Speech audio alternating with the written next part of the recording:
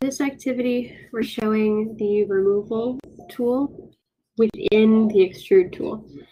Okay, so we're going to use the same types of tools that we were using for our first shape, where it's sketch and extrude, um, but we're now going to actually use it to cut and remove pieces away from an object that you make. Okay, so more details on how to use this extrude, which again is one of those base, uh, very important tools that we will use in our Onshape and in any of our 3D modeling. Okay, so we would open our Colonial Onshape. Okay, make sure you log in with your Google account.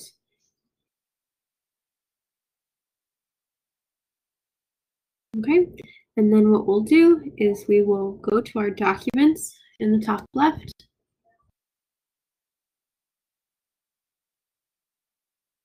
And then we will create a new document. Okay, um, one of the things we'll talk a little bit about in class is making folders for yourself to keep your work organized. Um, but again, right now we're just starting with the document. Okay, the name. So if you saw in the activity, says we are naming it extrusion remove practice. Okay, and your name. Oops. Okay, that's going to be our title.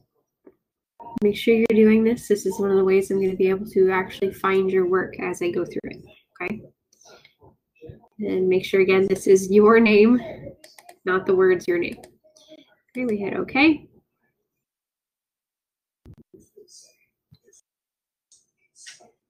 As it loads in. All right, we have a couple goals here, right? The main one is for us to be able to take a look at how to use the extrude tool in ways that aren't just creating the actual 3D element in the beginning. Um, we want to be able to use it to do different things. So our first step, we're going to use our sketch. Actually, I'm going to make my mouse a little easier to see for you guys real quick since I know that can be tricky. Ooh, okay, so we're gonna use the sketch tool here. All right, when we use sketch, remember you have to click it on a plane. You have to actually place your sketch somewhere. For this one, we're gonna choose the top.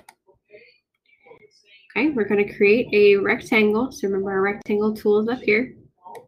When we choose our rectangle tool, somewhere along our top plane, okay, we will create a large rectangle, and we're actually going to give this one measurements. We're going to give it dimensions. So if you hover your cursor over our box here, we see that it is highlighted. We can type in the number four. Okay, we can hit enter. You see our next one on the side here, highlights. We can just type the number four. We can hit enter. So this gives us a four inch by four inch square. Okay, this is all we're going to do for this first sketch. So we're going to choose our green check box to close out the sketch. Remember that's closing our 2D version. Now we're back into the three dimensions. Right, we're going to extrude. So with our tool right next to sketch, and we choose our box. And we do want this to be a cube. So in our depth, in our extrusion tool right here, we're going to choose four, we're going to type four inches. We can hit the enter key. It'll automatically make it. We can choose our green checkbox. And we should have a nice cube. All right, our next step. So there are three different uh, sketches that we are going to use on this box to cut various shapes out of it. So we're going to start with a sketch. Remember, you have to start with a 2D version of what you want before you can make it into three dimensions. So we choose our sketch. We're going to choose the front of our box. Okay, if you're ever confused about which side of, a, of an object we're talking about, remember you can look at this cube on the side. This will tell us which names for each of the sides we're looking at. Okay, so we're looking at the front, okay, which is this one right here. Okay, we're going to choose that one. Okay, we're going to create a polygon this time. Okay, so polygon is up in our ribbon right at the top here, right? It looks like a little pentagon here. When we click on that, we can choose a spot for it to start.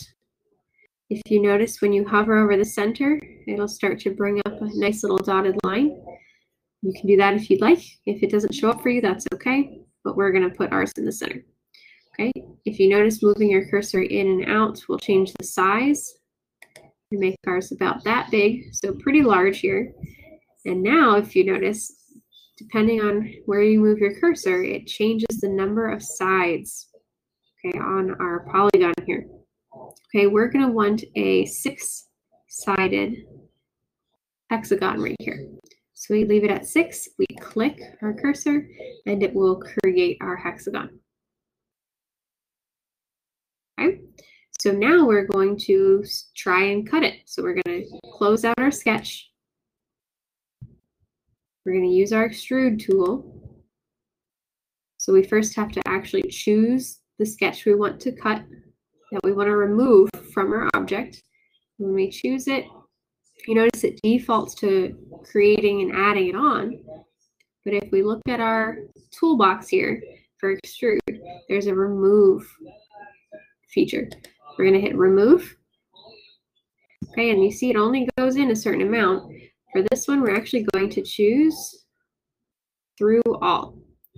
Okay, so what this does, once we accept it, we're going to hit our green checkbox. We can right click on our view cube here to rotate. If we hold your cursor, you can rotate. See, we see it cut out all the way through. I'll click on the corner to reset it. Now we're going to do two more cuts, two more removals. So we're going to start a sketch. This time it's going to be on the right-hand side. On the right-hand side, we're going to add a circle this time, our circle tool. Okay, somewhere in here, we're going to make, let's say, a small circle this time. We're going to accept our sketch. And then we're going to extrude and remove. So extrude, we have to choose the actual circle, okay? And then we need to remove. And this time, instead of through all of it, we're actually just going to do to the next item. So it says up to next. If we choose up to next, once we accept our changes, what it does, instead of cutting through the entire object, and instead of cutting a flat distance, it actually just cuts up to whatever the next surface is. Okay, so if you see there's a nice cut out just through that side, but the rest of it is intact. Right. Then what we'll do, our last step here, our last extrusion removal, we're going to do another sketch, our last sketch on the top. Okay, remember again, we're looking at the surface names from here. So this is the top. Okay, we're going to type in our name. So just so you guys know, when you create the rectangle for your text box, okay, the height is how large the text will be, and the length is how long that line of text will let you go. Okay, so if you have maybe a longer name, you'd have it smaller. Maybe your name is really short. You might be able to have it larger if you want it. Okay, so we're going to go like this. We'll type in our name, hit our green checkbox to accept it. Hit our green checkbox to accept it again. Okay, again, when we now want to remove, we're going to extrude. We choose what we want to extrude. And since it's trying to add it again, we hit remove. But this time we're going to do a blind, okay, the kind right here, and our depth is going to be half an inch, 0.5. Okay, we can hit enter to accept it, and then our little green checkbox to accept. So now that we look at it, it doesn't go very far, does it? It's just cutting just a little bit in, depending on how large your polygon was. Like mine, our first or two of our letters pop through, but the other ones we don't see because it's a fixed depth cut. Okay, we're going to choose our corner again so we see the whole object. And then again, what we'll do for right now when we go to send it, is a quick screen cap. Okay, make sure you get all your info in there.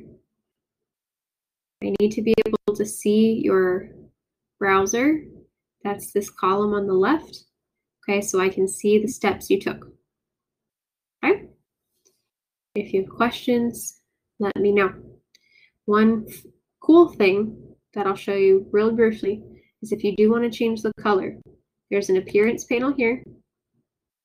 Oop, we wound up with two parts somehow. Oh, it cut off a piece. Um, you can right click, you can edit the appearance, and you can choose different colors for what you want to do. Okay.